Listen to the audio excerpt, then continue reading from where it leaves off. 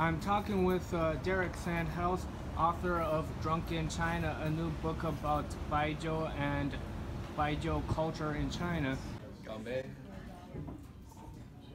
The Amazon summary says he examines the many ways in which alcohol has shaped Chinese society and its rituals. He visits production floors, karaoke parlors, hot pot joints, and speakeasies. It sounds like this must have been the most fun book to write. It was a joy. It was at times taxing, um, emotionally and physically, but uh, I'm happy that it will be released today for audiences in the United States and elsewhere. So, what do you look for when you look for a baijiu? well, at a restaurant in China, usually I'll bring my own bottle because that's going to be your safest option, and you can usually control what you're drinking, but it's usually more polite, I think, to order from a restaurant in the United States. Um, here we've got three different styles of Red Star Erguotou. Um, and looks like besides that, they've got Confucius Wisdom, which is uh, run by a guy named uh, David, David Joe, out of uh, I think Potomac, Maryland, is where he's based. So you've got three light aromas from from uh, Red Star and the strong aroma Confucius Wisdom, which I think is made in Qufu, in Shandong. Yeah. Not only does Derek write about Baijiu, he also produces Baijiu. He has partnered with Luzhou Laojiao, a distillery with 500 years of history, to produce Ming River and sell it in the U.S. Okay, now I'm recording. Okay. I had this idea in my head going into it that Baijiu was one drink, like whiskey or Mm, vodka. yeah. Baijiu is like kind of the Chinese liquor, like equivalent word that you would say like um, Chinese food.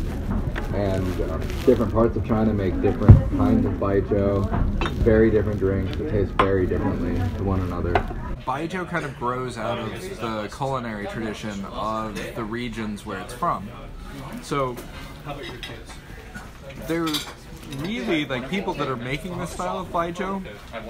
What they're trying to do is create the perfect combination of flavors to balance out the the food food of that region.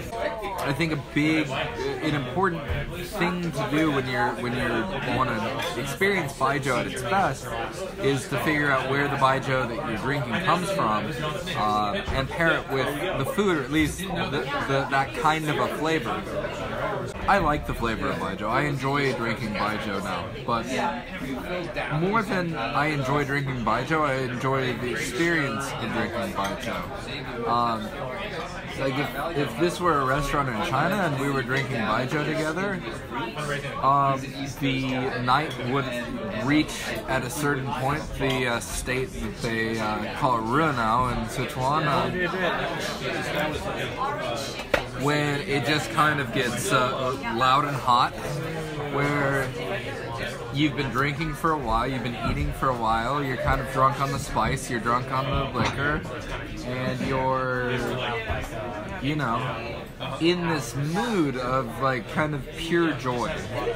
And once you get there, usually, and it, it's an open invitation both ways. Usually, at like a really lively Chinese restaurant, um, you can kind of bounce around a little bit. You can go sit at a stranger's table and make a toast to them and invite them to join in your your, your joy and your celebration. And vice versa. Um, people have often like sat down at my table with a bottle of Baijiu and just you know started talking. It's this kind of wonderful, uninhibited like communal experience and and really if you look at alcohol in China that that is how it's always been going back you know seven nine thousand years people have always been using alcohol to kind of create this sense of um, shared revel- revelry and connection